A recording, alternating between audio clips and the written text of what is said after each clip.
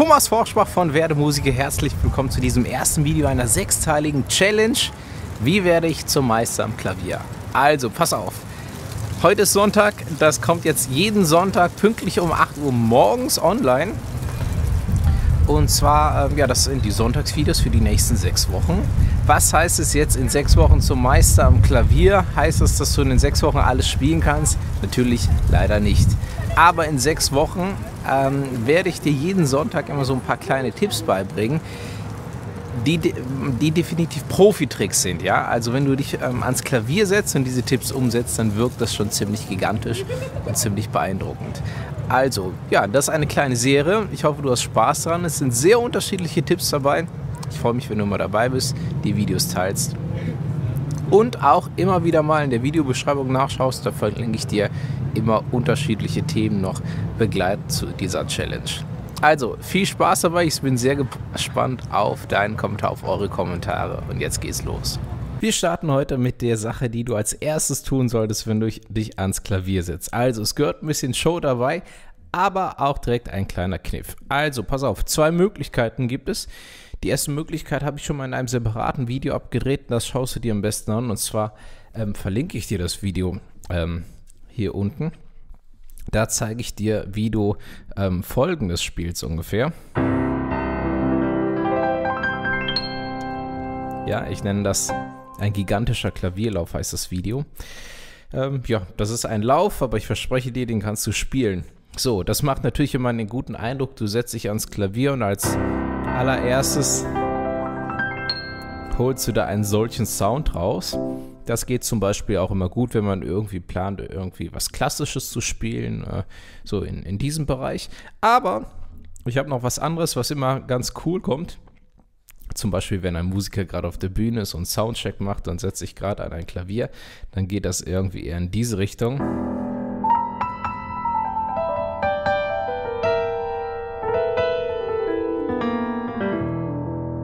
Zum Beispiel so.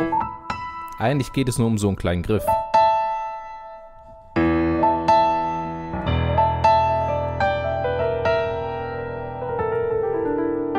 Ja, also, ähm, das ist so ein kleines Riff, so ein kleiner. Also, es, es ist quasi kurz ein Instrument anspielen, aber es klingt zudem auch geil. Macht zudem sehr viel Eindruck. Allerdings soll es ja nicht nur Eindruck machen, sondern ähm, Später in dieser Challenge, in dieser Serie, wirst du auch erfahren, dass das, was da wirklich äh, musikalisch hintersteckt und was man damit noch machen kann, das ist nämlich ziemlich beeindruckend. Okay, also, das zeige ich dir konkret. Ähm, und zwar ist das hier die Tonart E-Moll, in der ich das machen würde. Das heißt, in der linken Hand spielen wir ein E in der Oktave. Ich weiß, du kannst es jetzt nicht sehen, aber Besser noch eine Oktav tiefer, ist genau das gleiche, weil es einfach nochmal fetter klingt, ne? Auch schön, gleichzeitig. Unten der rechten Hand, am besten hier oben. Das Besondere ist eigentlich hier dieser Quartgriff zwischen H und E. Das muss noch nicht mal H und E sein. Das kann auch E und A sein. Vielleicht sogar auch D und G.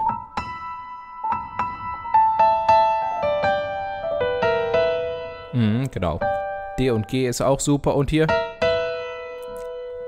dann mit kleinen Variationen. Also, es geht erstmal um den Griff. Ähm, das wäre der erste Schritt, dass du das einmal übst. Und zwar auch mit der Betonung, dass der zweite lauter ist. Der erste eher so als abgehoben und dann einmal feste drauf. Ja, hoch und dann volle Suppe. So, Erste kleine Variation wäre, wenn du hier noch den Daumen vorher am, ähm, mit dem Daumen das A spielst. Minimal als Ghost Note nennt sich das, ja, Geisternote, die man fast gar nicht wahrnimmt.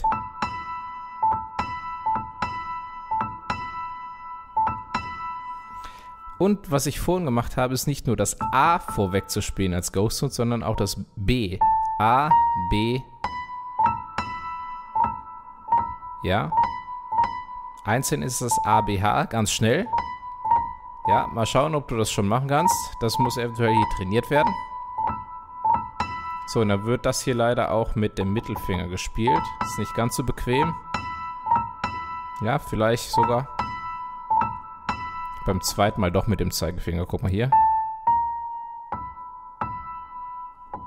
Ne, hier wechsle ich den Finger. Und das klingt schon ziemlich professionell.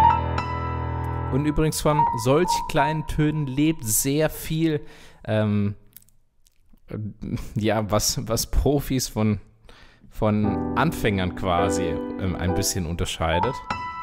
Ja, das wirst du im Verlauf dieser Serie noch mal sehen, dass es sehr oft mit solch kleinen, kleinen Tönen zu tun hat.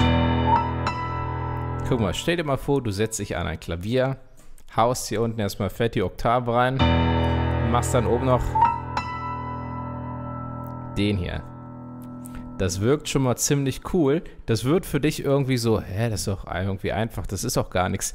Es wirkt nicht nur cool, es ist auch cool einfach.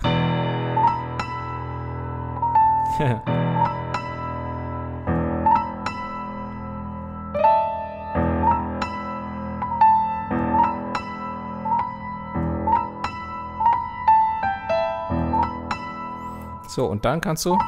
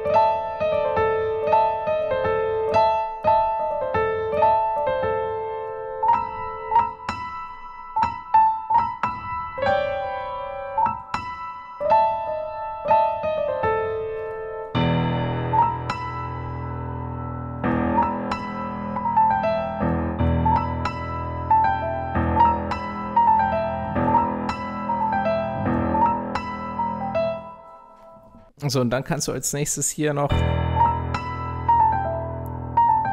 diese Einzeltöne spielen. B, A, G, E. Zeigefinger, Daumen, Zeigefinger, Daumen.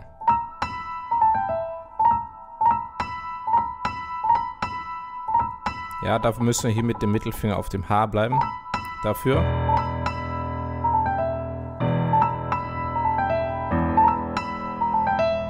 So, und dann lässt du das klingen, das Pedal ist gedrückt. Und am Schluss in der linken Hand D, Dis, E. Und, und mit dem E lässt du das Pedal los. Guck mal hier. Die Töne klingen. Achtung. So ein bisschen als Abdämpfer, ne? um um wieder quasi aufzustehen, zu sagen, okay, Soundcheck ist erledigt, vielen Dank, hat alles gut geklappt. Also, wie gesagt, es gehört hier gerade ein bisschen Show hinter. Musiker sind ja, kommen aus dem Showgeschäft letztendlich, das gehört immer dazu. Ähm, es hat allerdings auch ein bisschen coole Musiktheorie, ähm, wie ich vorhin schon gesagt habe, ähm, steckt dahinter, auf die wir im Verlauf dieser Serie eingehen werden. Ja, was ich zwar zum Beispiel hier gemacht habe. Und letztendlich habe ich hier auch nur improvisiert. Das ist eine Möglichkeit von der, auf die wir später noch eingehen werden. Ja, und das ist einfach mal so ein cooler Einstieg, wenn du dich ans Klavier setzt, um nicht irgendwie so nur kurz ein paar Töne zu drücken. Oder, äh, warte, wie geht das nochmal? Sondern am besten hast du erstmal hier so fest im Repertoire den hier. Und dann kann es losgehen, ja. Dann ist die, die halbe Miete schon drin. also, ich hoffe, du hast Spaß mit diesem Tipp hier. Und es wird definitiv noch auch eine sehr abwechslungsreiche Serie. Und ich freue mich, wenn du weiterhin dabei bist. Und vor allen Dingen, wenn du magst, teil auch gerne hier das Video irgendwie mal bei Facebook, wenn du sagst, hey Leute, wer macht noch mit bei der Challenge, würde mich natürlich sehr freuen. Ansonsten vielen, vielen Dank fürs Zuschauen. Bis zum nächsten Video. Ciao.